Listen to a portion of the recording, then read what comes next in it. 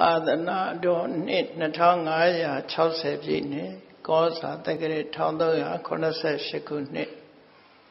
ပြာသူလပိကျော်3ရက်2019ခုနှစ်ဇန်နဝါရီလ15ရက်ရန်ကုန်တိုင်းဒေသကြီးမယန်းကုန်းမြို့နယ်သာသနာရေးနဲ့ညီကျေးမှုဝန်ကြီးဌာနသာသနာတော်ထွန်းကားပြန်ပွားရေးဦးစီးဌာနသဝတိရိဗိမာန်တော်တွင်ဆင်ကျင်းပပြုလုပ်အပ်သည့် သာသနာပူဇာမြတ်မင်္ဂလာတရားအလှူတော်အထူးဓမ္မသဖြင့်အခမ်းအနား၌တိတန္တရာအဆက်ဆက်တွင်တော်ဆက်ခဲ့ပူသောမိဘဘိုးဘွားဆွေမျိုးများနှင့်ဥတင်ဆိုးတို့အားရည်စူး၍ဒေါ်လာခင်သာသမီမြေတစုကိုကျော်သင်းဆေးဆိုင်မင်္ဂလာစေနှစ်ဥပြီဆို တော်ရင်မြတ်ဆိုးမိသားစု Royal Golden Park Company Limited သုံးဥရွှေအားရည်စူး၍ဒေါ်အေးနှင့်သာသမီမြေတစုကဘာအေးလေးဥစောထီဆက်ဒေါ်ခင်မမလေးဓမ္မအလင်းသာစောစေရမင်း ever smile မိသားစုငါဥထွန်းမြင့်ဒေါခင်ထွေးကြီး ရွှေကန်းကောကဖီမိသားစု6ဥလတင်ဒေါခင်ဆန်းနဲ့သာသမီမြေတစုတို့ဤအမတဒါနဓမ္မဒါနဖြစ်ဖြင့်ဟောကြားအပ်သောမိလိန္ဒမင်းနှင့်ရှင်နာကသေနာတို့ဤဗုဒ္ဓဝါဒရေးအခြေတင်ပြောဆိုချက်များအပိုင်း24တရားဒေသနာတော် ဒီနေ့ညတပါးသဘင်ခန္ဓာကိုရှင်ဘုန်းတော်သခင်ရှင်တော်မြတ်ဖရာဤမဟာကရုဏာကုံကိုအာယုံပြုကာတိကျူဖွဲ့ဆိုအပ်သောဝန္ဒနာပနာမအာတိတကထာကိုရွတ်စုပူဇော်ခြင်းဖြင့်စတင်ကြရအောင်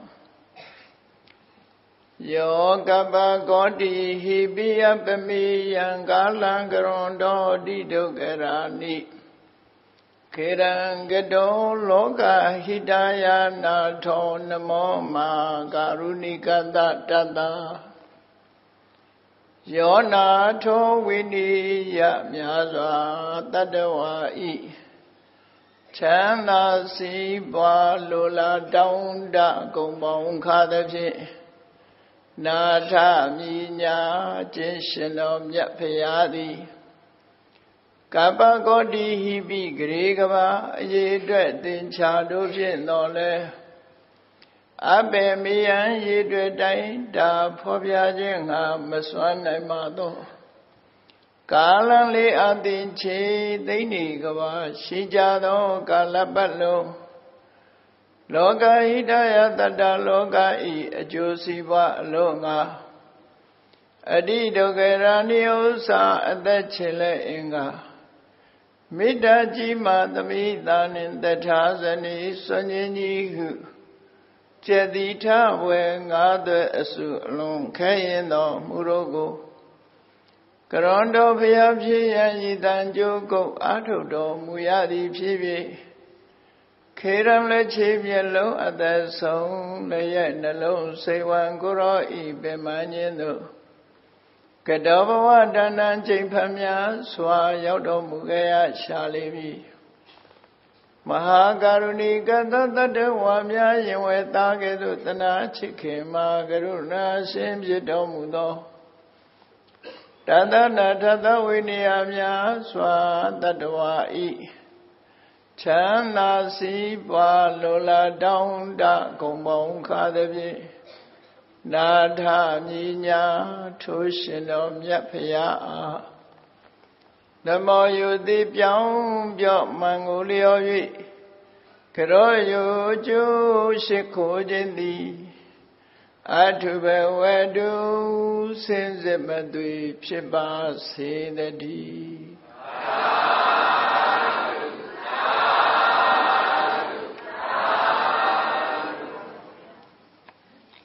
မိလိန်နာမင်းနှင့်ရှင်နာကသေနာတို့ဤဘုရားဝါဒရေးရာအခြေတင်ပြောဆိုချက်များ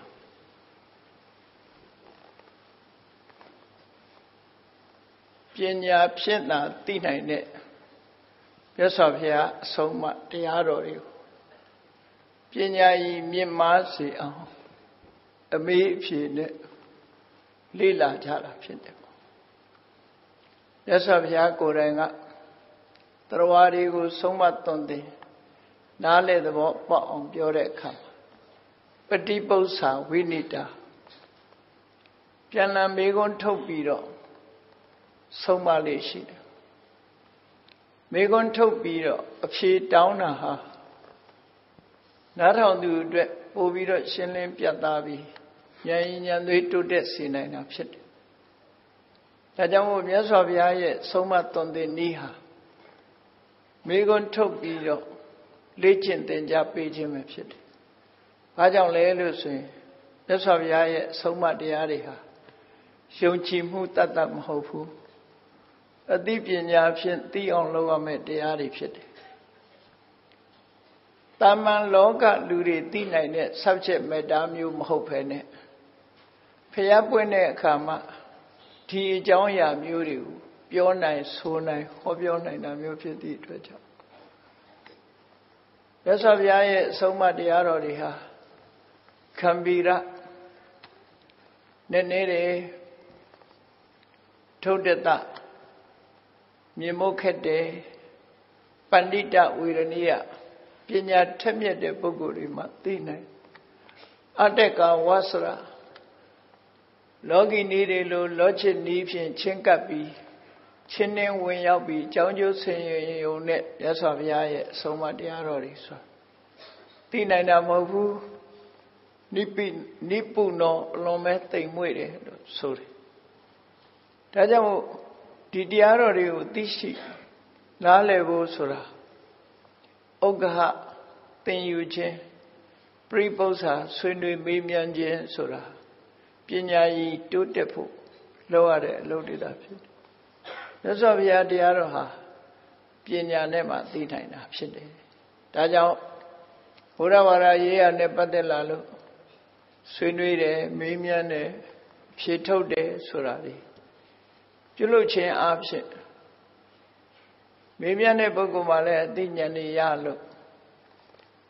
ဖြေဆိုမှုကိုကြားနာကြရတဲ့ပုဂ္ဂိုလ်တွေမှလည်းပဲဉာဏ်ဉာဏ်သေးတွေတိုးတက်မြင့်မားလာစေတယ်အထောက်ကူပြုတဲ့ ဒီအမေးဖြေတွေပဲဖြစ်တယ်ပိဋကတ်3သွယ်နိကေ9ရတပည့်ခန္ဓာပေါင်း8400ဆိုတဲ့အထက်မှာဓမ္မမေခွန်းနဲ့အဖြေများဆိုတာမြောက်များစွာပါရှိတယ်မေခွန်းထုတ်ပြီးတော့ရှင်းလင်းဖော်ပြတဲ့အရာတွေဟာရသော်ဘုရားသခင်ကိုရမြတ်ရဲ့ဟောပြောနည်းပုံတရံနဲ့ ရဟန်းတော်ချင်းချင်းဟာလည်းတပါးနဲ့တပါးဆွေးနွေးမေးမြန်းခြင်းဖြင့်မရှင်းလင်းတဲ့တရားတွေပို့ပြီးတော့ရှင်းလင်းတော့လုပ်ကြဘုရားမရှိတော့တဲ့နောက်မှလည်းပဲအဲ့ဒီသင်ကြားခြင်းလေ့လာခြင်းစနစ်အတိုင်းပဲ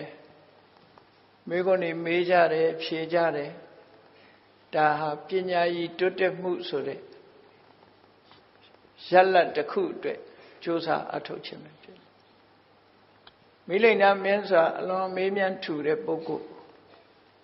ရှင်နာဂတေနသူသိခြင်းသမျှမိခွန်းတွေကိုသူရင်နဲ့ရောက်အောင်ဖြည့်ဆိုရှင်းလင်းဖြည့်ဆိုနိုင်ခဲ့အဲ့ဒီမှာဗုဒ္ဓဝါဒလို့ဆိုရင်မြတ်စွာဘုရားအဆုံးအမနဲ့ပတ်သက်တဲ့မေးမြန်းမှုတွေဖြည့်ဆိုမှုတွေအမှန်တမ်းစိတ်ဝင်စားစရာကောင်းတယ်ပေါ့ မိလိန်နာပညာလို့ဆိုရတဲ့ပဲဘေကုံပေါင်း86မျိုးမှတ်တမ်းတင်ထားတာဖြစ်တယ်အဲ့ဒီမိလိန်နာပညာလို့ခေါင်းစည်းအောက်မှာဘေကုံပေါင်း86မျိုးအခုအဲ့ဒီထဲကဘေကုံနံပါတ်60နဲ့ ငါခုနှစ်ခုမြောက်ကနေစတင်ပြီးတော့မှတ်သားနိုင်ကြ66ခုဟောကြားလို့ပြီးဆုံးသွားပြီပေါ့69ခုမြောက်မိဂုံနဲ့ပတ်သက်ပြီးတော့မိလိနာမင်းကြီးမေးတဲ့မေးခွန်းတွေကိုရှင်နာကသေနာအကွက်ကြကြရှင်းလင်းသွားအောင်ဖြေဆိုခဲ့တာသာဖြစ်တယ်68ခုမြောက်မေးခွန်းကဘာမေးတော့လို့ဆို ပညာပဋိဌာနာလူတွေရဲ့အသိပညာဆိုတာဘယ်မှာရှိတာလဲဘယ်မှာတည်ရှိနေတယ်လဲပညာဆိုတာတော့လူတွေသိကြတယ်ဒါဖြင့်အဲ့ဒီပညာဟာဘယ်မှာရှိတာလဲနှလုံးသားထဲမှာလားခုခေတ်လို့ပြောမစင်အုံနောက်မှာလားသို့မဟုတ်ဘယ်နေရာမှာလဲ location ကိုမေးတဲ့မေးခွန်းမျိုးသူကနော် လူတွေရဲ့အသိပညာဆိုတာဘယ်နှမ်းမှာရှိလဲဘယ်မှာနေလဲဆိုတဲ့မေးခွန်းတကိဒီနေ့ကနေ့ခေတ်လူတွေကတော့မျိုးမျိုးဖြေကောင်းဖြေမှာပေါ့နော်အဲ့ဒီပညာနဲ့ပတ်သက်ပြီးတော့မိလိမ့်နာမင်းကြီးရဲ့ပညာရဲ့ location လို့ခေါ်တယ်တရားဌာနနဲ့ပတ်သက်ပြီးသူမေးလိုက်တာအရှင်နာဂသေန ကုဟိမ်ပညာပฏิဝတတိပညာဟာဘယ်မှာနေတယ်လဲသူမေးတဲ့စကားလုံးအတိုင်းဆိုပညာကဘယ်မှာနေတယ်လဲသူဘယ်မှာထင်တယ်လို့တော့ထင်မြင်ချက်မပေးဘူးခဏိခေအတွေးနဲ့ပြောရဆိုရင်နှလုံးသားမှာလားအုံနောက်မှာလားတခြားတနေရာမှာလားလို့ဘယ်နေရာမှာပညာရှိတာလဲသိပညာဆို အများစုကတော့ပညာအုံနောက်မှာလို့ပြောကြမှာများတယ်ပေါ့နော်အဲ့ဒီဖြေမျိုးပြဖြေမလားလို့တွေးမိကောင်းတွေးမိကြလိမ့်မယ်သို့တော့ရှင်နာဂသေနဖြေဆိုပုံကတော့နာကတ္တစီမဟာရာဇဘယ်နေရာမှမရှိဘူးတဲ့သူပြောတာဘယ်နေရာမှပညာဆိုတာတည်ရှိတာမဟုတ်ဘူးတော့ဘယ်မှမှမရှိဘူးလို့ပြောတဲ့အခါကျတော့ မိလိန်နာမင်းကသဘောမပေါက်တော့ဘယ်မှမှမရှိလို့ရှင်တေတဟိဗန္တိနတ္ထိပညာဒါဆိုရင် ရှင်ဘုရားပညာဆိုတာမရှိဘူးပေါ့ပညာဆိုတာရှိရင်ဘယ်ကထွက်လာတယ်ဘယ်မှာတည်တယ်ဆိုတာသိရမှာပေါ့အဲ့တော့ဘယ်မှာမှမရှိဘူးဆိုရင်ပညာမရှိဘူးလားပညာဆိုတာမရှိဘူးလားလို့ဆိုအဲ့ဒီမိကုံးကိုပြေအောင်ပ ฏิပု္ပ္ပာဗျာကရဏလို့ခေါ်တယ်မိကုံးပြန်ထုတ်တယ်ဘုရင်ကြီးကိုနေရာမသိတိုင်းဘယ်နေရာမှမရှိတိုင်းမှာဒီမရှိဘူးလို့ပြောလို့မရဘူးလောကကြီးမှာဒါကြောင့်မို့ရှင်နာဂသေနာကဝါတော်ကုဟိပတိဝတ္တိရှင်မင်းကြီးလေရဘယ်မှာနေတာတော့လေရဘယ်မှာနေတာတော့ဆိုမိလိမ့်နေမင်းကြီးရဲ့ဖြေက နကထစီဗန္တိလေးလေးဆိုတာဘယ်မှာမှနေတာမရှိဘူးလေရဲ့နေရာဌာနဘယ်မှာတော့လို့ပြန်မေးလိုက်တော့သူ့အဖြေကလည်းပဲနကတ္တစီပဲအဖြေထွက်လာဘယ်မှာမှမရှိဘူးလို့ဖြေထွက်တယ်အဲ့တော့ဘယ်မှာမှမရှိဘူးဆိုတော့သူပြောတဲ့အတိုင်းပဲတေနဟိနတ္ထိဝါတော်ဒါဆိုရင်လေးမရှိဘူးလားလို့အဲ့တော့လောကမှာလေးဆိုတာရှိတယ်ဆိုတာလူတိုင်းလက်ခံ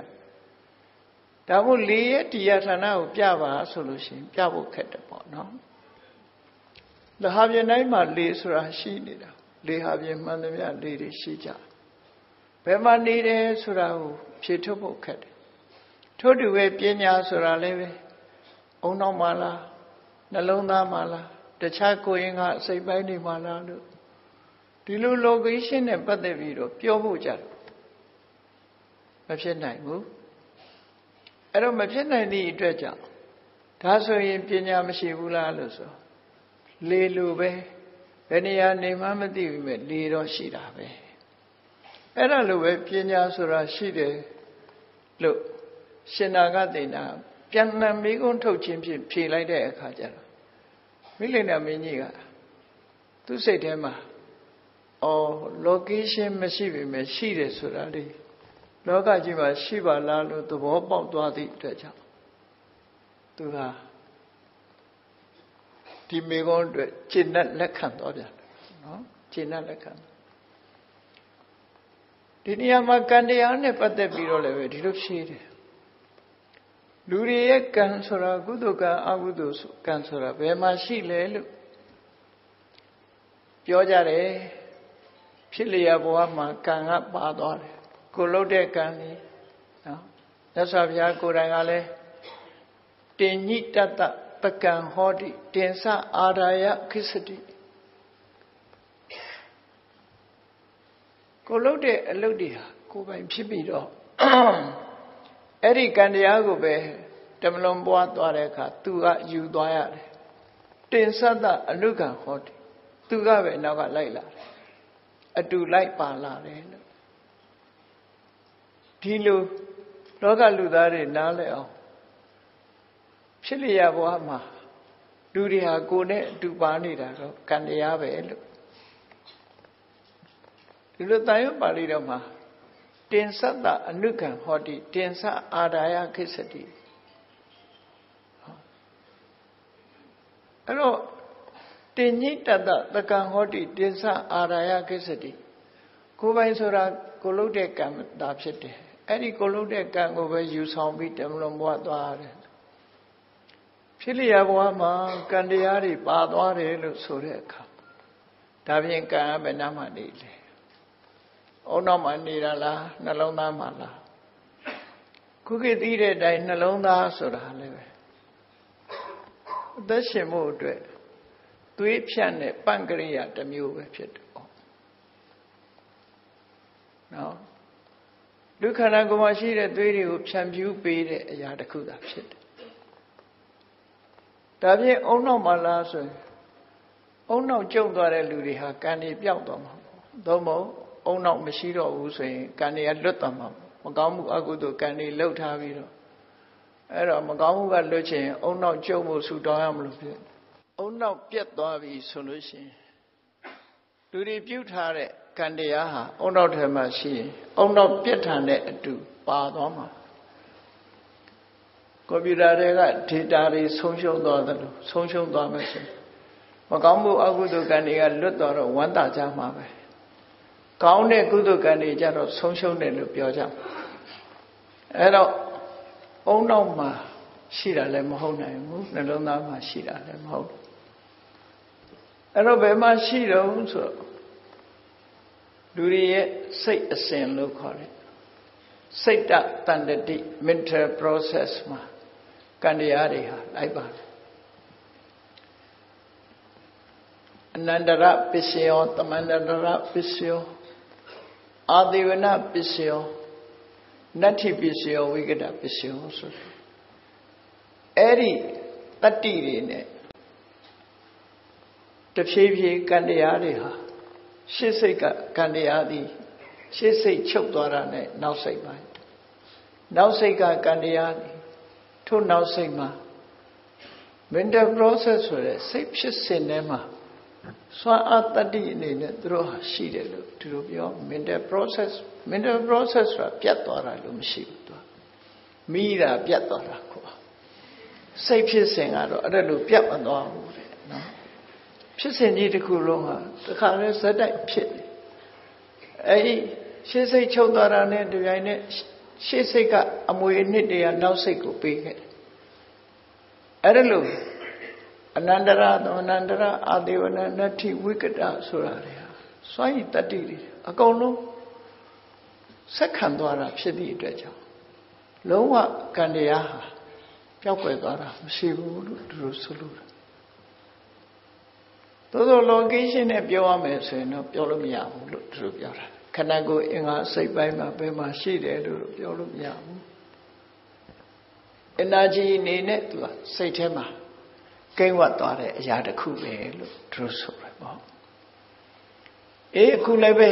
ပညာဘယ်မှာရှိသလဲဆိုတဲ့မေကုန်းကိုအခုလိုဖြေဆိုရှင်းလင်းခဲ့တာဖြစ်တယ်ပေါ့ဒုက္ခနဲ့နောက်68ခုမြောက်မေကုန်းကတော့ တန်တာရပညာတန်တရားဘလို့လဲတာလဲဆိုတာပြောတန်တာရဆိုတာတန်တရတိ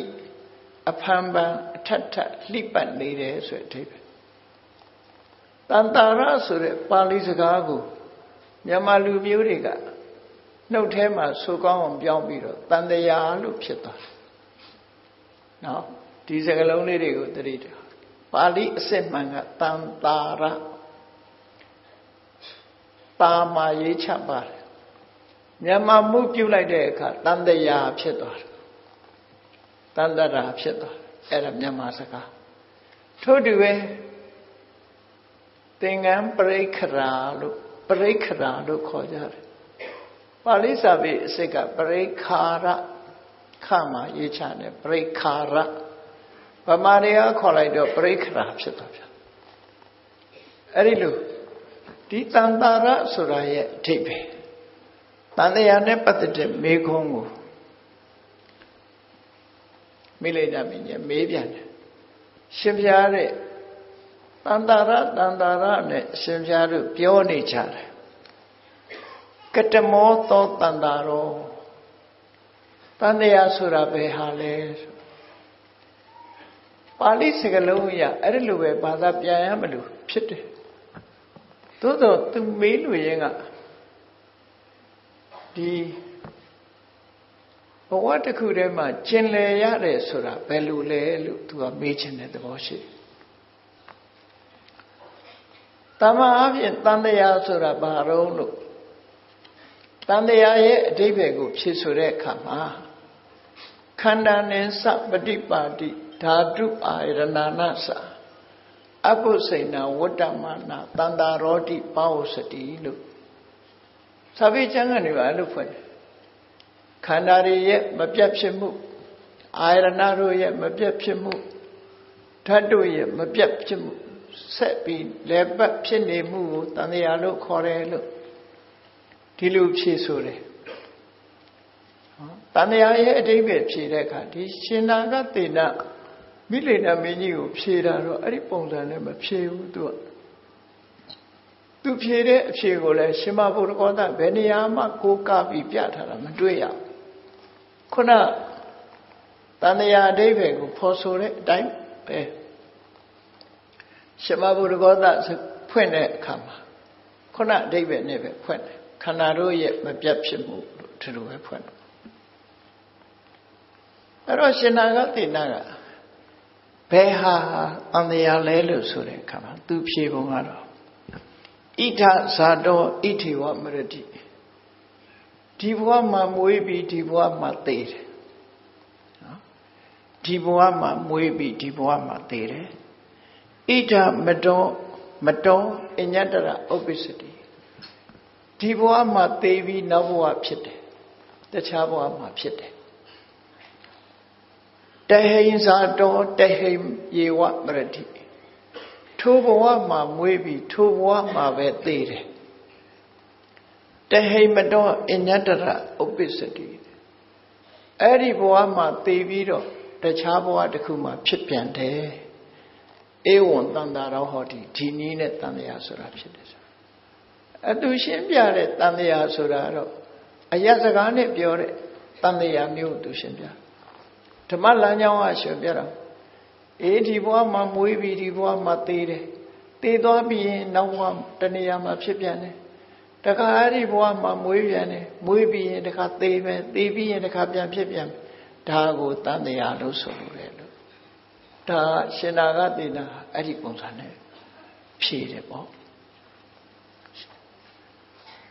တန်တရားရဲ့အထိပ္ပယ်ကို ဒီအယစကားနဲ့ဖြေတဲ့အထိပ္ပယ်မျိုးရှိတယ်သမုဒိရှုထောင်ကနေပြီးတော့သိဆုံးမှုနဲ့ပတ်သက်ပြီးဖြေတာဖြစ်တယ်ခုနခန္ဓာအာရဏဓာတ်တို့ရဲ့မပြတ်ဖြစ်နေတဲ့ဖြစ်စဉ်ကြီးတခုကိုတန်လျာလို့ခေါ်တယ်ဆိုတဲ့အဖြစ်မျိုးမပေးဘူး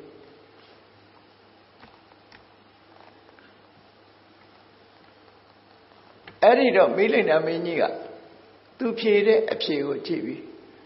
အရှင်ဘုရားဥပမာလေးနဲ့ရှင်းမအောင်တဲ့ဒါကိုတကယ်တော့ရှင်းတော့ရှင်းနေပြီဒါပေမဲ့ဥပမာလေးနဲ့ပြောစမ်းမအောင်လို့ဆို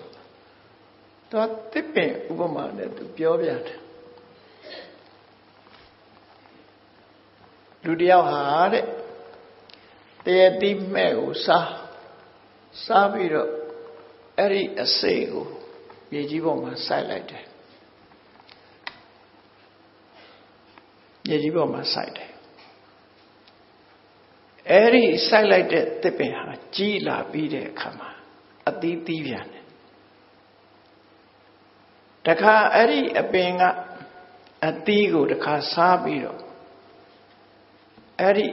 နောက်ထပ်သီးတဲ့အပင်ကအသီးကိုစားပြီးတော့အစိတ်ကိုတခါစိုက်ပြန်တယ်အဲ့ဒီအစိတ်ကလည်းပဲအပင်ကြီးတစ်ခုတရပင်ကြီးတစ်ခုဖြစ်လာတယ် ပြီးတော့အသီးတွေတီးပြန်တယ်တန်တရားဆိုတာအခုလိုဒီစိုက်လိုက်တဲ့မျိုးစေ့ကအပင်ပေါက်တယ်အဲ့ဒီအပင်ကအသီးသီးတယ်အဲ့ဒီအသီးကတခါအပင်ဖြစ်ပြန်တယ်အပင်ကနေအသီးသီးတယ်အဲ့ဒီအသီးကတခါဖြစ်ပြန်တယ်ဒီလိုဆိုနော်ကျက်ဥဘယ်ရရတယ်လဲကျက်မကရတယ်ကျက်မဘယ်ရရလဲကျက်ဥကရတယ် တနေ့ကုန်သာရွတ်နေကျက်ဥနဲ့ကျက်မထွက်လို့ရမှာမဟုတ်ဘူးအဲ့တော့တစ်ပင်ဟာလည်းဘယ်ရရမျိုးစေ့ကရမျိုးစေ့ဘယ်ကရတစ်ပင်ကရတစ်ပင်ဘယ်ကရမျိုးစေ့ကရဆိုပုံအဲခုခေတ်ခိုင်းကူးတွေနဲ့ကြဘယ်လိုလုပ်နော်သူကအပင်ဖြစ်လို့ရနိုင်တဲ့အရာကသူကတဘာဝအားဖြင့်နော်တဘာဝအားဖြင့်မူလဗိစအမြစ်ကိုလည်းပဲ တချို့ပင်မျိုးကအမြစ်ဆိုင်ရဥပမာမဲ့ချင်းပင်တို့ဘာတို့တို့ဟာမျိုးအမြစ်ဆိုင်မူလဗိစရိုးရအတိုင်းလုပ်တဲ့ဟာမျိုးမူလဗိစဖလုဗိစကြံတို့ဘာတို့ကြတော့အစိတ်ကိုဆိုင်အခဗိစဒီပူစီနံတို့ဘာတို့ကြအညွန့်ဆိုင်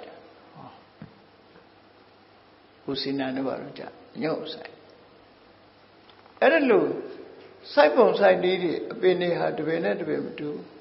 စဘီစဆိုတာမျိုးစိတ်ကမှထွက်တယ်ဟာတဲပင်တို့ရေပုံရအဖြစ်မျိုးစိတ်ကပေါက်တာသို့တော်ကလေးခေတ်မှာတော့ဂိုင်းကူးဆိုပြီးတော့အပင်ချင်းကူးပြီးတော့စိုက်တာမျိုးတွေခေတ်စားတာဗျာအဲ့တော့ဘလူးဘီစတဲ့လေမျိုးဆိုတာအပင်ထဲမှာရှိနေတဲ့အရာတစ်ခုဟာအပင်တစ်ခုပွားအောင်လုပ်လို့တော့ရသို့တော့တရက်ပင်မရှိဘဲနဲ့တော့တရက်ပင်ဖန်တီးလို့တော့ရချင်မှရမှာပေါ့ တရပင်ဆိုတဲ့မျိုးစေ့ကနေပြီးတော့ဖြစ်တယ်။ဂျာမနီနိုင်ငံသွားတော့ကပြီးဓမ္မသင်တန်းသွားပို့ချတော့တခါကြီးတယောက်ကဂျာမန်တခါကြီးကခွင်တောင်းပြီးတော့မေးတယ်။ရှင်ဘုရားကလုံးဆိုတာဖြစ်နိုင်လားတဲ့ခုခေတ်ရှင်ဘုရားတို့ဘုရားဘာသာပြီးဓမ္မတရားတို့ဟောဖြစ်နိုင်ပါလေလို့ဘာလို့လို့ဆိုကလုံးဆိုတာတန်တိတ္တစပဲလို့နော် ကလုံးကိုဖန်တီးတယ်ဆိုတာတရားကိုဖန်တီးတာမဟုတ်ဆွိုင်းကိုဖန်တီးတာကဖြစ်တယ်ဆွိုင်းရှိရင်တရားဆိုတာရောက်လာတာမြေရှိရင်မျိုးစီရပေါက်မှာပဲလေမြေရှိလာရင်မျိုးစီရပေါက်အဲ့ဒါလိုပဲဒီ humidity လို့ခေါ်တဲ့အညိအစေးတွေအတန်သေးတစားတော့ခေါ်တာဘုရမဒေဝီရဲ့ဒီ သား900ဘုရမဒေဝီကသား900မွေးတယ်ဆိုရှင်မွေးလုံးပေါ့နော်အသား900မွေးတယ်ဆိုတာသူတူတဲ့900ကြီးဘယ်လိုလုပ်မွေးလို့ရငါးတကောင်ကတော့ငပုံနာသွားကြည့်အများအားဥလေးတွေနဲ့တန်းချီမွေးတာငါးတကောင်ကတော့အဲ့ဒီဥလေးတစ်လုံးဟာငါးလေးတကောင်ရဲ့တတိပဲနော်အေဘရုမဒေဝီ သား900မွေးတယ်ဆိုတာအကြီးဆုံးမဟာဗဒုမမင်းသားကသာရိုးရိုးမွေးတာကျန်တဲ့499ယောက်ကရူမဒေဝီရဲ့ခန္ဓာကိုယ်ဖြစ်တဲ့သွေးကိုအမိပြုပြီးတန်သေးရစားအနေနဲ့မွေးချတာကျန်ကလုံးမဲ့အဲ့ဒါဒါရမို့တမေတဲ့မွေးတဲ့သာသမီတွေဖြစ်ကြတာသူတို့ဟာကလုံးဆိုတာအဲ့ဒီသဘောမျိုးလို့ပြောတာ ဆဲလေးတွေကိုကနေပြီးတော့အဲ့တော့သူတို့ကဆွိုင်းမဲ့ဖန်တီးပေးတယ်အခုရိုးရမှာတော့စပန်နဲ့အိုဗာမိခင်ဖခင်တို့ရဲ့စပန်နဲ့အိုဗာဟာဆွိုင်းမယ်သို့တော့တချို့ကအဲ့ဒါကိုတရဝါလို့ယူဆခြင်းချတယ်အဘိဓမ္မာသဘောအရဆိုရင်မိဘရဲ့စပန်နဲ့အိုဗာဟာဆွိုင်းမယ်အဲ့ဒီဆွိုင်းမှာ သေဆုံးလာတဲ့တရဝါရဲ့တတိကလာပြီးတော့ဖြစ်တာအသေးဆုံးနေတဲ့ပုံကိုယ်တွေဆိုတာတကဘာလုံးကြည့်ကကောင်းကင်ဘဝကြာနေတဲ့မိုးပေါက်တွေမျိုးစေ့တွေလိုပဲကြာကြံကြာလာတာကြာကြံကြာတော့ကြာကြံကြာလာရင်ပေါက်ချင်တဲ့နေရာပေါက်တာပဲအဲပေါက်ချင်တယ်ဆိုတာကံနဲ့အကြောင်းဟောသူကံနဲ့သူဒီနေရာကြာဒီနေရာပေါက်ကြတယ်ဒီလိုလာတာ အဲ့တော့ဒီသရဝါဆိုတာဟာသူမွေးဖွားလို့ရတဲ့နေရာမှာသူဖြစ်လာတာအဲ့ဒါတွေကမိဘရဲ့စပန်နဲ့အိုဗန်ဆိုတာဆွိုင်းပဲမြေကြီးသဘောပဲအဲ့ဒီမြေကြီးသဘောပေါ်မှာခုနကကံဆိုတဲ့မျိုးစေ့ကြလာသို့တော့မြတ်စွာဘုရားဟောတဲ့စကားထဲမှာတော့ကံကိုမျိုးစိတ်လို့မသုံးမဲနဲ့ ဝိညာဏံဘိသံကမ္မံခိတံဝိညာဏံဘိသံတဏတဏိဟောလို့မြတ်စွာဘုရားသုံးကံဆိုတာဆွိုင်းနဲ့အဲ့မှာကံဆိုတာဆွိုင်းလဲရဝိညာဉ်လေးကဝိညာဉ်ဆိုတာပရိသေစိတ်လေးကိုပြောတာဝိညာဉ်လေးကမျိုးစိတ်တဏှာကရေအစိုးဓာတ်တပင်တပင်ပေါက်တယ်ဆိုတာမြေကြီးရှိရမယ်အစိုးဓာတ်ရှိရမျိုးစိတ်ရှိရ အဲ့ဒီသဘောမျိုးလို့ပဲလူတွေရဲ့တရေစိတ်လေးဘာကြောင့်အဲ့ဒီလိုဟောတယ်လဲလို့ဘုန်းကြီးတို့စဉ်းစားပြီးတော့ကြည့်အမှန်အဖြစ်ကံကိုမျိုးစိတ်လို့ပြောတဲ့နေရာရတယ်ပေါ့နော်သို့တော်မြတ်စွာဘုရားပရိသေစိတ်လေးကိုမျိုးစိတ်လို့ပြောပြီးတော့ကံကိုတော့သူကမြတ်စွာဘုရားဆွိုင်းလို့ပြောလိုက်တာဘာကြောင့်လို့ဆိုရင်လူတယောက်သေဆုံးပြီဆိုတဲ့ချိန်အလုံး ရုပ်တရားတွေနံတရားတွေရုပ်တရက်ပြတ်တောက်သွားတာဖြစ်တယ်ပြတ်တောက်သွားတော့သူအာယုံလေးကိုအာယုံလေးကိုကံကဖန်တီးပေးလိုက်တယ်အကောင်ထဲရှိတာမဟုတ်ဘူးအာယုံကဖန်တီးပေးလိုက်တယ်ဘယ်လိုအကောင်ထဲမရှိတော့ဆိုရင်အိမ်မက်မက်နေတဲ့အခါမှာအဲ့အကောင်ထဲမရှိတယ်လို့အိမ်မက်ထဲကအရာဟာအကောင်ထဲမှာမရှိတာနိုးလာရင်မရှိတော့ဘူးလေဒါပေမဲ့အိမ်မက်ထဲမှာတော့ဟုတ်လိုက်တာသူက အဲ့ဒါလို့ပဲလူတယောက်ဟာတရားမှုမှုဖြစ်နေတဲ့အချိန်မှာကံတရားရဲ့ဖန်တီးတဲ့အာယုန်တွေကိုမြင်နေတယ်အဲ့ဒီအာယုန်တွေကိုအာယုန်ပြုတ်ပြီးတော့သတိစိတ်ကလေးကပေါ်တာမှုသတိစိတ်ကလေးကမျိုးစိတ်ကံအာယုန်ကဆွိုင်းလို့ဒီလိုဖြစ်သွားအဲ့ဒီမှာတဏှာဆိုတဲ့အစိတ်တက်ကလေးနဲ့ပေါင်းဆက်လိုက်တဲ့အခါကျဘဝဆိုတဲ့အပင်တစ်ပင်ဖြစ်လာတယ် ဒါကတော့အင်္ဂုတ္တရနေကေမှာမြတ်စွာဘုရားဒီပုံစံနဲ့ဘဝဖြစ်ပေါ်လာပုံရှင်းပြတာနော်ရှင်းပြလိုက်တာအဲ့ဒါလိုပဲဘဝတွေဟာဖြစ်ပေါ်လာကြတယ်လို့တို့မှအခုလဲတန်တရားနဲ့ပတ်သက်လာတဲ့အခါတစ်ပင်ဥပမာနဲ့သူအရှင်းပြနော်မျိုးစိတ်တစ်စိတ်ကိုစားလိုက်တယ်အပင်ပေါက်တယ်အဲ့ဒီကအသီးသီးကြံတယ်အဲ့ဒီအသီးကိုတခါ အစိတ်ကိုယူပြီးတော့ဆိုင်လိုက်ပြန်တယ်ဆိုင်လိုက်တဲ့အခါအဲ့ဒီအစိတ်ကအပင်ပေါက်ပြန်တယ်ဆိုတော့အပင်နေရာပွားလာတန်တရားတွေဟာလည်းပွားလာလူတယောက်တည်းမှာဘဝပေါင်းမြောက်များစွာဖြစ်ပြီးတော့စင်ဆက်မပြတ်ဖြစ်ပေါ်နေတာအဘုစိန်နာဝတ္တမာနာဆိုခန္ဓာအရဏတ္တတွေဟာမပြတ်မစဲဆက်လက်ဖြစ်ပေါ်နေခြင်းကိုတန်တရားလို့ဆိုတယ်ဆိုတဲ့အဓိပ္ပာယ်မျိုးပဲတက်ရောက်ပါတယ်ဖြေဆိုလိုက်တာ အဲ့ဒါလို့ဖြေဆိုလိုက်တဲ့အခါကျတော့မိလိနာမင်းကြီးကခြေနဲ့လက်ခံသွားပြန်ဒီမိခွန်သူသဘောပေါက်သွားပြီ69ခုမြောက်မေခွန်းကိုတော့သူကဘာမေးတော့ဆိုစိရာကတတရဏအလွန်ရှည်ကြာတဲ့ကာလကလုတ်ခဲ့တာတွေကိုပြန်ပြီးအမှတ်ရခြင်းနဲ့ပတ်သက်တဲ့မေခွန်းတစ်ခုနော်မှတ်မိတယ်ဆိုတာလူတွေဟာ ဘယ်တော့မှလုတ်ခဲ့တာတွေမှတ်မိတယ်ခုဘဝလူတွေတော်တော်များများကတော့အတိတ်ကိုမေ့သွားကြအတိတ်အကြောင်းအရာတွေဆိုဒီဘဝမှာတည်းပဲအများကြီးမေ့သွားဒီဘဝမတိုင်ခင်ကဘဝကိုသိတဲ့လူကတော့အလွန်ရှားတယ်ပေါ့အလွန်ရှားတယ်အဲ့တော့စိရကတတရဏအဲ့ဒီမိကုန်းနဲ့ပတ်သက်ပြီး ရှီကြသောကာလကလုတ်ခဲ့တဲ့အရာကို ပြန်ပြီးအမှတ်ရတယ်ဆိုတာသူကအမှတ်ရတာဘာကအမှတ်ရတာလဲသူမေးချင်သူမေးချင်မေးလိုက်တာမင်းကြီးလူတွေဟာကိုယ့်ဘဝကိုငယ်ငယ်ကဖြစ်ဖြစ်တည်ငယ်ငယ်တုန်းကကြောင်းနေခဲ့တာတွေစာသင်ခဲ့တာတွေငယ်စဉ်ကလွတ်ခဲ့တဲ့ဟာတွေကိုပြန်ပြီးတော့အမှတ်ရတာ အဲ့ဒီအမှတ်ရတာဘာလဲဘယ်သူကအမှတ်ရတာလဲဘယ်အရာကအမှတ်ရတယ်လဲသူကဒီမေးခွန်းကိုသူမေးတာနော်ဘယ်အရာကအမှတ်ရသလဲဆိုလို့ရှင်နာကတိဏအဖြေတာတတိကအမှတ်ရတတိနဲ့အမှတ်ရတာတတိကနေအမှတ်ရတယ်လို့ပြောတယ်ဟောအမှတ်ရတယ်ဆိုတာတတိပဲ တတိဖြစ်အမှတ်ရတယ်လို့ဖြေလိုက်တော့မိလိနာမင်းကြီးကသူထင်းနေတာကစိတ်ကပဲအမှတ်ရတယ်လို့ထင်တယ်လောကလူတွေလည်းစိတ်ကိုပဲဩပြောလို့ရှိရင်စိတ်ကိုဥတည်ပြောတာ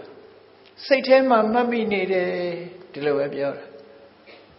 ဟောဝမ်းနေတဲ့စိတ်ဝမ်းသာတဲ့စိတ်စိတ်ကိုပဲပြောနေကြတာလူတွေတော်တော်များများ အဲ့တော့မှတ်မိတာလဲစိတ်ဖဲလို့ပဲဒီလိုပဲယူဆအဲ့တော့မိရိဏမင်းကြီးကရှင်နာဂသေနာကတတိဖြင့်မှတ်ရတယ်ဆိုတဲ့အခါသူကဘာထောက်တုံးဆိုနာနုစိတ်တေနတရတိနောတတိယအရှင်ဘုရားစိတ်နဲ့မှတ်ရတာမဟုတ်လားတတိနဲ့မှတ်ရတာလားစိတ်နဲ့ပဲတတိအမှတ်ရတာပဲမဟုတ်လားလို့ဆိုတော့ ရှင်နာဂသေနာဖြေတယ်မင်းကြီးတဲ့တခါတည်းရန်သင်မင်းကြီးဟာအလုတ်တစ်ခုလုတ်ဖို့ရနော်အလုတ်တစ်ခုလုတ်ပြီးတဲ့အခါမှာမေ့သွားတာရှိလားအလုတ်တစ်ခုလှုပ်เสียရလေးတွေရှိတယ်တော့အဲ့ဒီအလုတ်တစ်ခုလှုပ်ရမှာကိုမေ့တာရှိလားလှုပ်ရမယ်ဆိုတဲ့အလုတ်တစ်ခုကိုရှင်မင်းကြီးမေ့နေတာရှိလားလို့ဆို အားရှိပါတယ်တဲ့အဲ့ဒီလိုအလုတ်တစ်ခုလှုပ်ရမှာမေ့နေတယ်ဆိုတဲ့အချိန်မှာတဲ့အရှင်မင်းကြီးကစိတ်မဲ့နေတဲ့အနေထားရှိသလားနော်အဲ့ဒီချိန်မှာ तू ကစိတ်မဲ့တာမှမဟုတ်တာ तू စိတ်ရှိတယ်လေစိတ်ကတော့ရှိနေတာပဲ तू မှာဒါပေမဲ့မေ့နေတယ်လေအဲ့တော့အစိတ်တကဆိုစိတ်မေ့မေ့စိတ်မရှိတဲ့ပုဂ္ဂိုလ်ဖြစ်သလားတဲ့ စိတ်တွေဟာအဲ့ဒီအချိန်မှာမရှိဘဲနဲ့ရုပ်တွေကြီးပဲရှိသလားလို့ဆိုဟောစိတ်မဲ့နေတာတော့မဟုတ်ပါဘူးတဲ့အဲ့ဒီမှာတတိတာအဲ့ဒီအချိန်မှာမရှိတာပါမေ့သွားတယ်ဆိုတာတတိပဲမရှိတာစိတ်ကတော့ရှိနေတယ်လူတွေဟာစိတ်ကတော့ရှိနေတာပဲလေအမြဲဖြစ်ပြီးအမြဲရှိဒေါသထွက်နေလဲစိတ်ကတော့ရှိတာလောဘဖြစ်နေလဲစိတ်ကတော့ရှိတာ မောဟဖြစ်နေလဲစိတ်ကတော့ရှိသို့တော့တတိမရှိတော့ဘူးဆိုရင်မေ့တယ်အဲ့ဒီတော့ရှင်နာကသေနာသူ့ကိုထောက်တယ်အထကတမအဲ့ဒီချိန်မှာစိတ်ရှိနေတယ်ဆိုရင်ဘာဖြစ်လို့စိတ်နဲ့တတိရတယ်တတိနဲ့တတိရတာမဟုတ်ဘူးလို့ဘာလို့ပြောတာတော့စိတ်ရှိနေမမေ့ရဘူးလေ စိတ်ရှိနေတာအိပ်ပျော်နေတော့လည်းစိတ်ကရှိတာပဲလေလူတွေလူကအိပ်နေပြီမဲ့စိတ်ဆိုတာရှိဘာစိတ်ရှိတော့ဆိုအဲ့ကြဘဝင်စိတ်ရှိတာပေါ့အဲ့တော့တမန်အပြင်လူတွေဟာမေ့သွားတယ်မေ့သွားတယ်လှုပ်ရှားကိုင်းစရာတွေလှုပ်ဖို့မေ့တယ်ဆိုတာဟာတတိဖြစ်မေ့တာအမှတ်ရတယ်ဆိုလဲတတိဖြစ်မေ့တတိမရှိလို့မေ့စိတ်မရှိလို့မဟုတ်ဘူးဆိုတာကို ရှင်နာကသိနာကရှင်းပြီးတော့ပြလိုက်တဲ့အခါမှာဘုရင်ကြီးကသဘောကျသွားတယ်ဒီမေခွန်းရဲ့ဖြေကိုနောက်တစ်ခါတတိနဲ့ပတ်သက်ပြီးတော့ပဲသူမေခွန်းတစ်ခု80မြောက်မေခွန်းကိုလည်းတတိနဲ့ပဲပတ်သက်ပြီးမေးတယ်ဒါတွေကတခြားချမ်းနေမှာသိပြီးမတွေ့ရအောင်ဒီတတိနဲ့ပတ်သက်တဲ့မေခွန်းနဲ့အဘိဇာနန္တတတိတဲ့ လူတွေအမှတ်ရပုံတွေဟာတစ်ခုနဲ့တစ်ခုမတူဟောတခြားပိဋကစာပေတွေထဲမှာဒါမျိုးရေးထားတာတစ်ခါမှမတွေ့ဘူးဘူးเนาะခါမှမတွေ့ဘူးဘူးဒီနာမည်တွေသုံးပြီးတော့ရေးတာတစ်ခါမှမတွေ့အဘိသနန္တတတိဆိုတာမွေးရပါတိလာတဲ့တတိဆိုတဲ့အဓိပ္ပာယ်မျိုး အဲ့ဒီအဘိဇာနန္တတတိနဲ့ပတ်သက်ပြီးတော့ မေခွန်းတစ်ခုထုတ်တယ်80မြောက်50မေခွန်းမှာ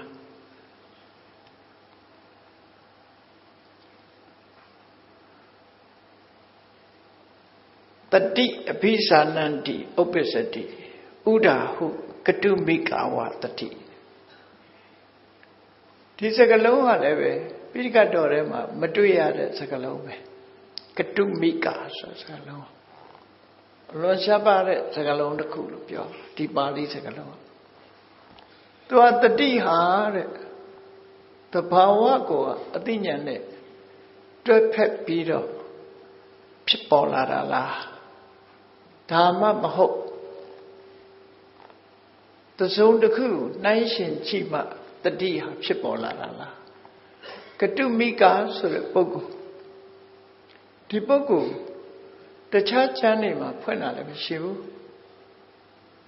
တိပိဋကပါဠိမြန်မှာအဖိဓာမှတော့ဒီပုဂ္ဂိုလ်ပုတ်ခွဲနိုင်ခြင်းမရှိခဲ့ဘူးเนาะဒီစကလုံးကိုပုတ်ခွဲတာမရှိဘူးအဲ့တော့မင်းကွန်စေတဝန်ဆရာတော်ကြီးဆိုတာမဟာစီဆရာတော်ကြီးတို့ရဲ့ဆရာတော်တယ်ပိန်ဖောင်းဆိုတဲ့ဝိပဿနာရှုနည်းကအဲ့ဆရာတော်ကြီးကမဟာစီဆရာတော်ကိုသင်ပေးတာ ဟောဖောင်းပိန်ဆိုတဲ့ကမ္မထာမင်းကွန်စေတော်ဆရာတော်လို့ခေါ်တယ်မင်းကွန်မှာခုလည်းဒီမူလမင်းကွန်ဆရာတော်ကြီးဆိုတာမူလမူလမင်းကွန်ဝိပဿနာတို့ဖွဲ့တယ်လည်းရှိတယ်အဲ့ဆရာတော်ကြီးကထက္ကရာကျမ်းကိုရေးခဲ့ဘူးတယ်ဘယ်ထက္ကရာကျမ်းတော့ဆိုမိလိန်နာပညာမိလိန်နာပညာဒီပါဠိဟာထက္ကရာမရှိဘူး အဲ့ဒီမင်းကောင်းစီတော်ဆရာတော်ကြီးကပါဠိလိုမိလိန်နာပညာကျမ်းရဲ့အထက်ကရာအဖွင့်ကိုရေးခဲ့သူရေးတဲ့ကျမ်းထဲမှာတော့ကတုမိကာဆိုပုဂ္ဂိုလ်ဖွင့်တာနော်ကတံဥမိကာလို့လုပ်ပြီးတော့လုတ်ပြီးသားကိုနှိုင်းရှင်တဲ့အနုမာနညာနဲ့သိတယ်အတိအတိနဲ့ရှင်တဲ့တတိလို့ဆိုပြီးတော့ဖွင့်တမင်လုတ်တဲ့အရာတစ်ခုပေါ်မှာသိနိုင်တယ် တဘာဝအားဖြင့်မှတ်မိတဲ့တတိမျိုးမဟုတ်ဘဲနဲ့တမင်မှတ်မိအောင်လုပ်ထားတဲ့တတိမျိုးကိုကတုမိကတတိလို့သူတို့သုံးအဲ့မှာဖွင့်ထားတဲ့ထဲမှာမိလိန်နာမင်းကြီးရဲ့ intention ရည်ရွယ်ချက်နဲ့ရှင်နာဂတေနာတို့ရဲ့ရည်ရွယ်ချက်ချင်းဟာမတူကြဘူးမိလိန်နာမင်းကြီးကအဘိသန္တန်တိတတိဆိုတာဘာပြောတာတော့ဆိုရင်သူကမွေးရပါတတိမွေးရပါအတိညာနဲ့ရှင်တွဲလာတဲ့တတိ ကတုမိကတတိဆိုတာသင်မှသိလာတဲ့တကယ်မွေးရပါပညာနဲ့ပညာမပါတဲ့တတိလို့ဒီလိုခွဲခြားပြီးတော့မှတ်ထားတာအဲ့ဒါစာပေကျမ်းကမှာအလုံးတခြားကျမ်းတွေမှာမတွေ့နိုင်တဲ့စကားလုံးတွေပဲပေါ့ကတုမိကာကတဥမိကာ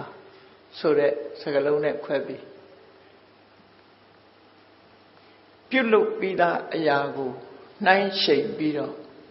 တွေ့တော်တဲ့တတိမျိုးဆိုတဲ့အဲ့ဒီပုံစံမျိုးရှိတယ်အဲ့တော့နောက်ပိုင်းတေချာစဉ်းစားကြည့်တဲ့အခါမှာရှင်းလင်းချက်တွေပြောမှဆိုရင်အဘိသာနန္တိတတိဆိုတာအမှတ်ရပြီးမွေးရပါအတိညာနဲ့ရှင်တွဲလာတဲ့တတိမျိုးဖြစ်ပြီးကတုမိကတတိဆိုတာကြတော့ ဆရာသမားနဲ့သင်ယူဖြစ်ပေါ်လာတဲ့ပညာကိုမှီပြုပြီးတော့ဖြစ်ပေါ်လာတဲ့တတိမျိုးတို့သူတို့ခွဲခြားပုံရအဲ့တော့မိလိမ့်နာမင်းကြီးကဒါကိုမေးတယ်ရှင်ဘုရားတဲ့တတိဆိုတာတဘာဝတိုင်းသိပြီးတော့ဖြစ်လာတာလားသို့မဟုတ်ဟောအခြားအရာတစ်ခုနဲ့နှိုင်းရှင်ပြီးတော့မှသိလာတာလားဆိုတာ အဘိဇာနန္တိတတိနဲ့ကတုမိကတတိဆိုပြီးတော့ဒီတတိနှစ်ခုဘယ်ဟာလဲလို့ဆိုမေးတဲ့အခါမှာရှင်နာဂသေနာဖြေတာအဘိဇာနန္တိပိကတုမိကာပိတတိနှစ်ခုစလုံးပဲတဲ့ဝေယဘာအတိညာနဲ့ရှင်တွဲလာတဲ့တတိသင်ယူခြင်းကြောင့်ဖြစ်ပေါ်လာတဲ့အတိညာနဲ့ရှင်တွဲလာတဲ့တတိလို့ နှမျိုးစလုံးကိုပဲတတိလို့ခေါ်ရမှာဖြစ်ပါတယ်လို့ဒီဒီလိုဖြေလိုက်တဲ့အခါကျတော့ဒီလိုဆိုလို့ရှိရင်တဲ့အရှင်ဘုရားသူပြောပုံကတော့အဘိဇာနန္တိတတိကိုလက်ခံလို့ရှိရင်ကတုမိကတတိဆိုတာမရှိနိုင်ဘူးပေါ့သူကပြောချင်အဲ့တော့သူပြောချင်တာကတော့တတိဆိုတော့ပညာနဲ့အမြဲတွဲနေတယ်ပညာမဲ့ပြီးတော့ပ င်ကိုကပညာမရှိတဲ့တတိမျိုးဆိုမဖြစ်နိုင်ဘူးလို့ဟောသဘာဝကိုပညာနဲ့ရှင်တွဲနေမှတတိဆိုတာဖြစ်နိုင်တယ်ပညာနဲ့မရှင်တတိမဖြစ်နိုင်ဘူးလို့သူကဒီလိုပြောတယ်အဲ့တော့ရှင်နာဂတေနာဘယ်လိုပြောတော့ဆိုယတိနတ္ထိကတုမိကတတိနတ္ထိကေစိသိပ္ပိကနံကာမယတနေဟိဝါဝိဇ္ဇာယတနေဟိဝါသိပ္ပဌာနေဟိဝါကရဏီယံသူပြောတာ ကတုမိကတတိဆိုတာသင်ကြားခြင်းကြောင့်တတ်လာတဲ့ပညာနဲ့ရှင်တဲ့တတိမျိုးလို့သူဆိုမွေးရပါတတိပဲသူကလက်ခံခြင်းတယ်ကတုမိကတတိမရှိဘူးလို့ပြောအဲ့ဒါလို့သင်ကြားမှတ်သားပြီးတော့မှနှိုင်းရှင်သိတဲ့တတိမျိုးညာနဲ့ရှင်တဲ့တတိမျိုးမရှိဘူးဆိုလို့ရှိရင်တဲ့လောကမှာအတတ်ပညာရှင်တွေဆိုတာမရှိနိုင်ဘူး တတ်ပညာတွေရှင်တွေဆိုတာသင်ရတာလေသူတို့သင်ပြီးတော့မှအဲ့ဒီပညာရက်ကိုမှတ်သားကြတာဟုတ်မသင်မဲနဲ့သူတို့သိတာပေါ့အဲ့ဒါဆိုရင်ကျောင်းတွေတခုမှမလိုအပ်တော့ဘူးနော်ကျောင်းကသင်ပေးမှတတ်လာကြတာလေကျောင်းကသင်ပေးမှတတ်လာတာဒါကြောင့်မလို့လုပ်ငန်းဆိုတာလဲ experience ဖြစ်ပြီးတော့လုပ်ငန်းရဲ့အတွေ့အကြုံဆိုတာရှိတယ် လုံရင်လုံရင်နဲ့အတွေ့အကြုံတွေမြင်မာလာတယ်ဆိုတာလောကရှိတယ်ပညာဆိုတာလဲအတွေ့အကြုံပေါ်မှာမူတည်ပြီးတော့ရင့်ကျက်လာ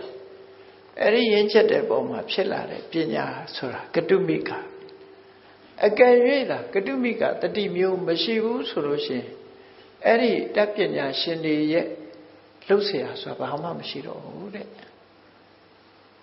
ဒါတွေမကဘူးနိရတိကအာစရိယာကျောင်းဆရာကျောင်းဆရာမှာ ပါမောက္ခတွေကတိကတွေဘာမှအသုံးမဝင်ဘူးလို့ပြောလို့ဆိုသင်ပေးမှလေသင်ပေးမှရလာတဲ့အရာတွေအတွက်သူ့ဘာသူပဲအဘိဇာဏတိသူ့ဘာသူသိတယ်ဆိုတဲ့ဉာဏ်နဲ့ရှင်ဉာဏ်မှတတိဆိုလို့ရှိရင်ခုနကသင်ပေးမှရလာတဲ့ပညာနဲ့ရှင်တဲ့တတိမျိုးမရှိဘူးဆိုရင်ကျောင်းဆရာတွေလည်းအလကားပဲကျောင်းလည်းအလကားပဲဘာမှလုပ်ဆရာမလိုတော့ဘူးဖြစ်တော်မှာပေါ့တဲ့ဒါရှင်နာကသိတာဖြစ်တာနော် ဆရာဆိုတာမရှိပဲဖြစ်သွားလိမ့်မယ်တဲ့ဒါကြောင့်မို့လို့တဲ့ကတုမိကသင်ယူမှတ်သားပြီးတဲ့နောက်မှာဖြစ်ပေါ်လာတဲ့တတိဆိုတာလောကမှာရှိတယ်တဲ့ရှိလို့အတ္တပညာရှင်ဆိုတာရှိတယ်အတ္တပညာရှင်တွေရှိလို့ဆရာဆိုတာလည်းလိုအပ်တယ်လို့သူပြောတယ်ဒီတတိနဲ့ပတ်သက်ပြီးတော့ဒါပညာနဲ့ဆက်ဆက်လာတဲ့မိခွန်းနေမိခွန်းနေ တော့သူပြောတဲ့အဘိဇာဏတိတတိဆိုတာမွေးရပါတတိတစ်ခုတည်းပဲကတုဘိကတတိဆိုတာသင်ကြားမှတ်နာပြီးတော့မှဖြစ်ပေါ်လာတဲ့ပညာအဲ့ဒီပညာနဲ့ရှင်တွဲလာတဲ့တတိလို့ဒီလိုဆိုလို့ရပေါ့နော်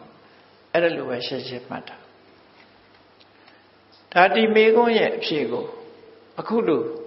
ရှင်းပြလိုက်တဲ့အခါကျတော့မိလနာမင်းကြီးလက်ခံသွားတယ်အေး82ခုမြောက်မေကုန်းကြတော့ တတိဥပ္ပစ္စနာတတိဖြစ်ပေါ်လာမှုနဲ့ပတ်သက်ပြီးတော့ဆက်ဆက်ပြီးမေးပြန်တယ်ရှင်ပြားတဲ့တတိဟာအခြေအနေ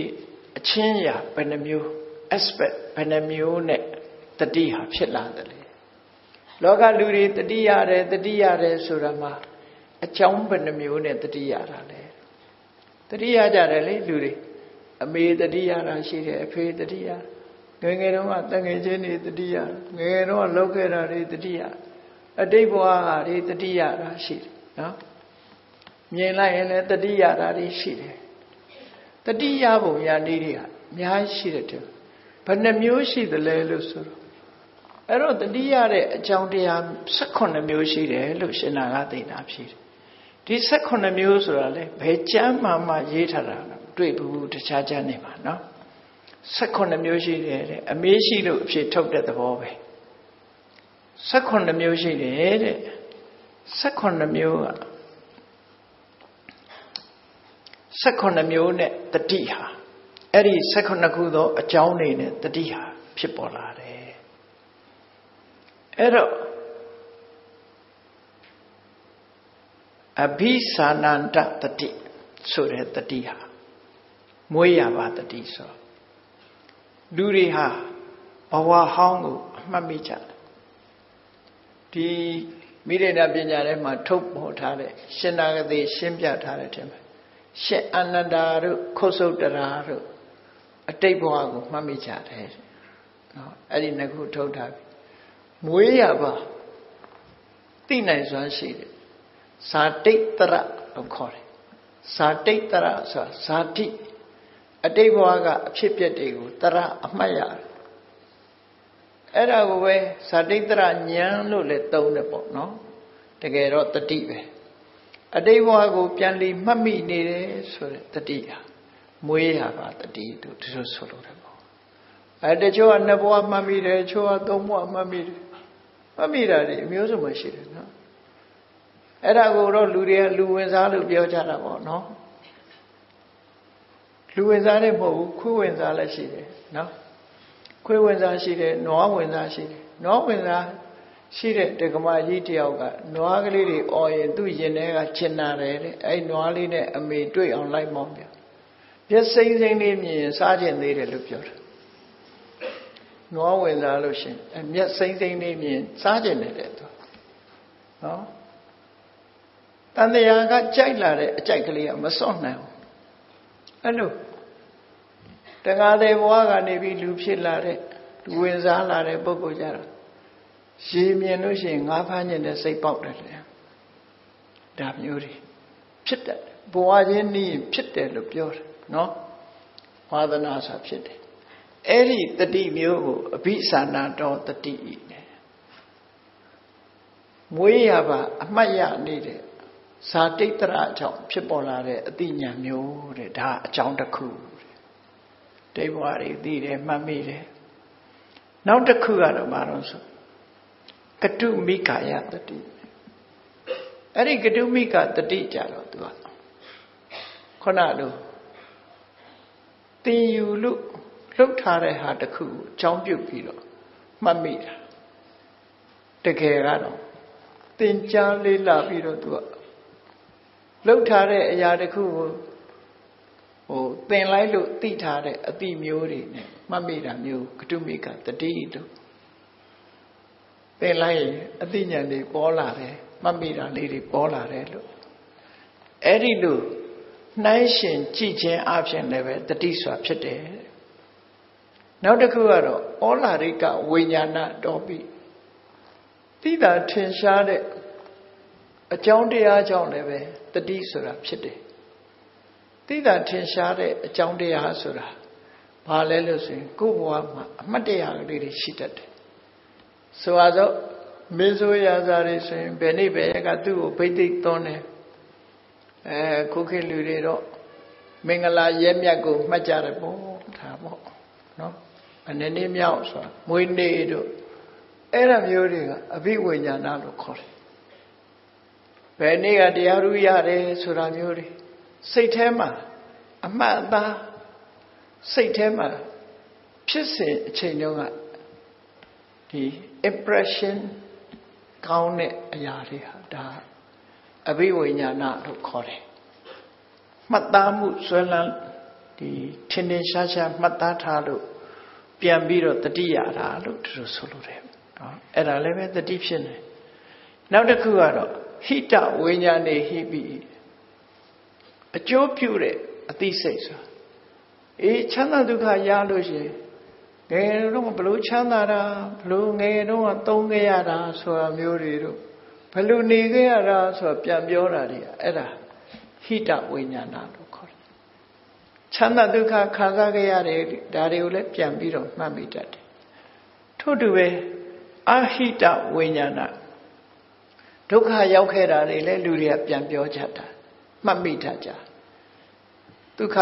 နဲ့မှတ်မိသလိုပဲဒုက္ခရောက်ခဲ့တာတွေကိုလည်းလူတွေကဆွဲဆွဲမြဲမြဲမှတ်မိတတ်ကြတဘာကနိမိတ်တော့ပြီးပုံစံတူအာယုံကလေးတစ်ခုတွေ့ရင်လည်းမှတ်မိတတ်တယ်မမဲကို့အမေနဲ့တူတယ်ကို့အဖေနဲ့တူတယ်ကိုညီကောင်မောင်နှမနဲ့ရုပ်တူရင်အဲ့ဒါအမေဖေသွားတတိယနော်မေဖေသွားတတိယ စင်စင်တူတဲ့ပုံကိုမြင်လိုက်တာနဲ့မြင်တာကတယောက်တတိယတာတယောက်ဖြစ်သွားကြားဘူးရမို့လားရှေးတုန်းကတက္ကမတယောက်အုံးရှိပင်အောက်မှာထင်းကောက်ကြောပေါ်မှာအုံးရှိသည်ကြွေကြတဲ့ဘုံကနေဆိုဩရှိတိကကြောပေါ်ကြလိုက်တော့နာမှာပေါ့ဩရှိတိဆိုတာကြီးတယ်လေငိုလိုက်တာတဲ့ဩရှိတိကြပြီးတော့မလေးနာလိုက်တာဆိုပြီးငိုတယ် ငိုတဲ့အခါအဖော်လိုက်လာတဲ့လူကညီဒီလောက်နာသွားလို့ငိုနေတာလားဘလို့နေသေးလို့ရုံးနဲ့ဆိုပြီးချော်ရင်ချော်ရင်ပြောတော့သူကဩရှိတိကြတာဒီလောက်မနာပါဘူးတဲ့သူ့အမျိုးသားကကြောထုတာမှတ်မိလို့ကဲဖြစ်တာကတခြားတတိယတာကတခြားအဲ့ဒါကိုသဘာကနိမိတ်လို့ပြောတယ်ပုံစံတူတတိယတယ်နော်လောကကြီးကလည်းထူဆန်းတယ် အဲ့တော့ပုံစံတူဆိုကြောကိုထုခဲ့တာအုံးရှိတိကြွေကြတာနဲ့သွားတတိယရတယ်လေကဲအဲ့ဒါလို့ဖြစ်တာမျိုးသဘာကဝိသဘာကနိမိတ်တော်ပြီမတူတာတွေးလို့ရှိရင်လေတူတာကိုသွားပြီးတတိယမိတ်တတ်သေးတယ်ဒီလိုဆိုလို့မတူတာကိုကြည့်ပြီးတော့လေဒီမတူတဲ့အာယုန်နမိတ်ကိုတွေးလိုက်တဲ့အခါကျတော့အဲဒိုတော့ကတော့ဒီလိုမဟုတ်ဘူးဆိုပြီးတော့ ငယ်ငယ်တုန်းကတွေးခဲ့တာတွေပြန်တတိယပြန်ဒါလည်းတတိယချင်းအကြောင်းတစ်ခုပဲတဲ့နောက်တစ်ခုတာရဏတော်ဆိုတာကိုယ်အပေါင်းတဲ့နေရာဟာတို့ငယ်ငယ်တော့ဘယ်လိုလုပ်ခဲ့တာမင်းမှတ်မိလားလို့ပြောတဲ့အခါကျအေးမှတ်မိတယ်ဆိုတတိပေးတဲ့အခါကျတော့မှတ်မိလားအဲ့ဒါလို့တစ်ဖက်သားကတတိယစီလို့လည်းပဲတတိဆိုတာဖြစ်ပေါ်လာတယ်တဲ့နောက်တစ်ခုကတော့စာပေသင်ကြားတဲ့အခါမှာလည်းပဲ ဒီစလုံးတွေကိုမှတ်မိလားအဲ့ဒီစလုံးတွေမှတ်မိတာဟာလည်းပဲသင်ကြားမှုကြောင့်မှတ်မိတယ်မသင်ဘူးဆိုရင်မမှတ်မိဘူးဘယ်လုံးပြီးဘယ်လုံးရေးရတယ်ဆိုတော့ဗမာစကားဆိုလို့ရှင်လဲနော်ဘယ်စလုံးပြီးဘယ်စလုံးရေးရတယ်ဆိုတာမှတ်မိကြတာပေါ့မှတ်မိကြတယ် အခရာဟာဘလို့ပါဠိပါရေးရတယ်ဆိုတော့ခုနကတုမိကာဆိုကပိယင်တုတုပိယင်မိတခုပြီးတခုပြီးရေးသွားတယ်ဆိုဒီစလုံးရဲ့ရှေ့ကစလုံးကပါနောက်စလုံးကအင်္ဂလိပ်စလုံးဆိုရင် congratulations ဆိုတာဘယ်နှလုံးရှိတယ်ဆိုမှတ်မိတယ်ဘယ်လုံးပြီးဘယ်လုံးရေးရမယ်ဆိုမှတ်မိကြအဲ့ဒါတွေဟာတင်ယူမှတ်သားထားခြင်းကြောင့်တတိဖြစ်တာဒီလိုဆိုလိုတယ်နော်သင်ထားလို့သိတာ။ အော်နောက်တစ်ခုကျတော့ခဏန်းတင်ထားလို့ရှိရင်လည်းအပေါင်းနဲ့ခဏန်းနည်းနဲ့လည်းပဲလူတွေမှာတတိဆိုတာဖြစ်တယ်တဲ့။အော်နောက်တစ်ခုကတော့ယင်ထဲမှာစွဲနေအောင်နှုတ်တဲ့ဆောင်းထားခြင်းကြောင့်လည်းပဲမှတ်မိတတ်တယ်။နမောတတဆိုတာအိယာထနိုးလည်းဘယ်သူမှဆိုရွတ်တတ်မှာပဲ။နမောတတကြေးနေတော့တတိတောင်ထားစရာမလိုဘူး။အဲ့ဒီလိုဟာမျိုးလည်းပဲဆောင်းထားသည့်အတွက်ကြောင့်နှုတ်တဲ့နှုတ်ကြိုးနေလို့မှတ်မိတယ်လို့သူဆိုတယ် နောက်တစ်ခါဘာဝနာတော်တတိတိုးတက်လာအောင်တတိတမစင်ညာကျင့်စဉ်တစ်ခုကိုကျင့်တယ် mindfulness လေ့ကျင့်ကလုပ်တယ်ပေါ့အဲဒီလို mindfulness လေ့ကျင့်ကလုပ်ခြင်းကြောင့်လည်းပဲလူတွေဟာမှတ်မိတတ်ကြတယ်နောက်တစ်ခုကတော့ပုတ္တကနိဗ္ဗာန်တော်ဒါယာရီလေးမှာဘယ်နည်းကဘာဆိုရေးလိုက်တယ်လေ နောက်တစ်ခါပြန်လှန်တွေ့တဲ့အခါကျတော့အော်အဲ့ဒီနေငါတို့ဘာလုပ်ခဲ့လဲဆိုတာဒဏ်ရာဒီဖတ်ပြီးပြန်သိအဲ့ဒါပောဋ္ဌကနိဗ္ဗာန်တော်မှတ်တမ်းတင်ထားတဲ့ဟာကိုပြန်ဖတ်ရင်လည်းမှတ်မိတယ်ဆိုတာမှတ်မိခြင်းအကြောင်းလေးကိုသူပြောပြတာပါဥပနိခိနိခိတတော်ပြီအနိနာချပြီးတော့ပြတယ်ဒါမျိုးတွေ့ဘူးလားဆိုရင်အဲ့ဒီချပြတဲ့ပစ္စည်းကိုကြည့်ပြီးတွေ့ဘူးရင်တွေ့ဘူးတယ်မတွေ့ဘူးမတွေ့ဘူးဆိုရမှတ်မိခြင်း ဒီလိုလည်းဖြစ်တယ်ဒါတတိဖြစ်ပေါ်စေတတ်တဲ့အရာပဲနောက်ဆုံးတစ်ခုကတော့အနုဘုဒ္ဓတော်ပိတတိဥပ္ပစ္စတိကိုကိုယ်တိုင်ကြုံတွေ့ခံစားမှုခံစားမှုလို့ရှိရင်လေတတိဆိုတာဖြစ်လာတယ်နော်ခံစားမှုတဲ့ဟာအရာမျက်စိနဲ့ခံစားမှုတယ်ဆိုတာမျက်စိနဲ့မြင်မှုတယ်နားနဲ့ကြားမှုတယ်နှာခေါင်းနဲ့နမ်းရှုမှုတယ် လျှာနဲ့လျက်ဖူးတယ်ခန္ဓာကိုယ်နဲ့ထိတွေ့ဘူးတယ်ဆိုတဲ့အဲ့ဒီခန္ဓာကိုယ်ကြုံတွေ့ဘူးတဲ့အရာကိုလည်းပဲတတိဆိုတာမှတ်တမ်းတင်ထားတာရှိလူကြီးတွေကတချို့ပြောလို့ရှိတယ်တို့ငယ်ငယ်တော့ဇီးသီးစားရတာအမတန်ကောင်းတယ်မင်္ဂလာသီးလည်းချိုလိုက်တာအခုကမင်္ဂလာသီးတွေကအရသာမရှိပါဘူးဇီးသီးကလည်းအရသာမရှိပါဘူးတကယ်ကတော့အရသာပြတ်တာမင်္ဂလာသီးနဲ့ဇီးသီးမဟုတ်ဘူးသူရှာကပြက်နေတာနော် အဲ့ဒါလိုလည်းဖြစ်တတ်တယ်ပေါ့လူကြီးတွေဟာများသောအားဖြင့်အဲ့လိုပြောလိပြောထားရှိကြတယ်တို့ငယ်ငယ်တုန်းကစားတာထိတဲ့အရသာရှိရှိမှာပေါ့အဲ့တော့ရှာကောင်းနေတော့အခုကရှာကလည်းပြက်သွားပြီလေအဲ့ဒါလိုဖြစ်တယ်အဲ့ဒါတွေဟာအနုဖူတတော်ကိုကိုယ်တိုင်တွေ့ကြုံခံစားဘူးလို့ရှင်လည်းပဲဒီတတိဆိုတာဖြစ်လာတယ်တတိဖြစ်ခြင်းရဲ့အကြောင်း39မျိုး ရှင်နာဂဒေနာရှင်းလင်းဟောပြောခဲ့တာဖြစ်တယ်သို့တော်ဒီလိုတတိဖြစ်ခြင်းအကြောင်းကိုတော့တခြားပိဋကစာပေအထက်ကရာတိကာထဲမှာရေးထားတာမတွေ့ဘူးဟောသို့တော်လည်းမှတ်သားစရာအလွန်ကောင်းတဲ့ပေါ်တာတွေကတကယ်လောကကြီးမှာရှိနိုင်တဲ့အရာတွေကိုကြံ့ကြံ့ဖမှန်ဖြေတာတော့ဟုတ်ချင်မှဟုတ်မယ်အဲ့ဒီခေတ်ကဒီလိုပြောရဆိုစဉ်လည်းရှိကောင်းရှိနိုင်တယ်သို့မဟုတ်တတိဖြစ်နိုင်တဲ့အရာတွေကို ဒီစုဆောင်းပြီးတော့ဖော်ပြတာလည်းဖြစ်နိုင်တယ်ပေါ့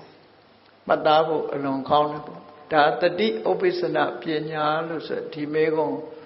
မေးတာကိုခုလိုရှင်းလင်းဖော်ပြလိုက်တော့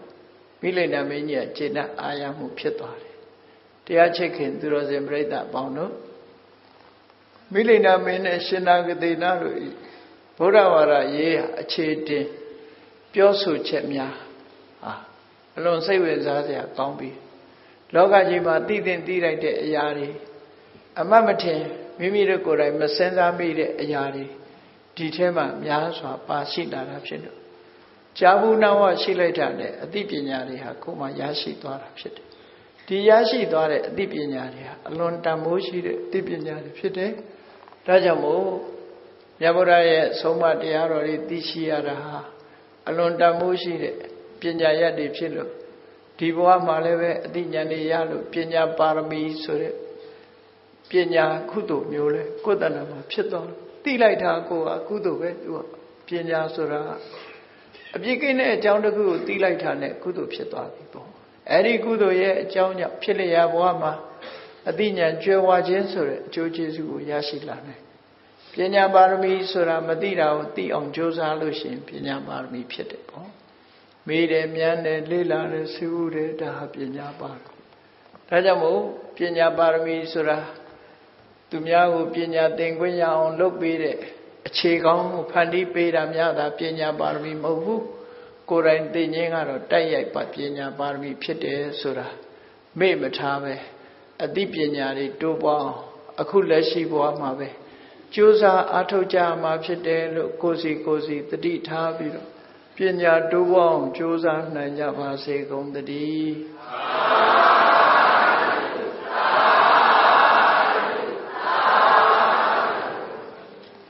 မေတ္တာပို့ရအောင်တတဝါများစွာဖေးရန်กว่าချမ်းသာကြပါစေတတဝါများစွာဖေးရန်กว่ าချမ်းသာကြပါစေမေတ္တာရေချမ်းသုံးငါဖြံငြိမ်းချမ်းကြပါစေ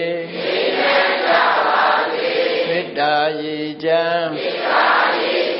သုံးငါဖြံငြိမ်းချမ်းကြပါစေ သက်ရှိချမ်းမာစိတ်ချမ်းသာလူရဆန္ဒပြည့်ပါစေသက်ရှိကျမ်းမာသက်ရှိကျမ်းမာစိတ်ချမ်းသာစိတ်ချမ်းသာဘုရားဆန္ဒပြေပါစေဘုရားဆန္ဒပြေပါစေဟောလန္တာဒုက္ခပင်ကစားမေတ္တာပုံနေတုသင်္ကမ မနောတရတိတဗ္ဗေတံပဝါယန္တုဒုက္ခနကမေတ္တာပုံနေတုသင်္ကမစုပေါင်းပုအမေတ္တာတဟုရောင်မြူပဝင်းဝေလာမင်းနှင့်ရောင်ကြီးရှဲယုံပေါင်းဆောင်ရခြင်းကြောင့်သဗ္ဗေသံကျွေးမဲ့ဥသုံးလုံးစုံများစွာတတ္တဝါတို့၏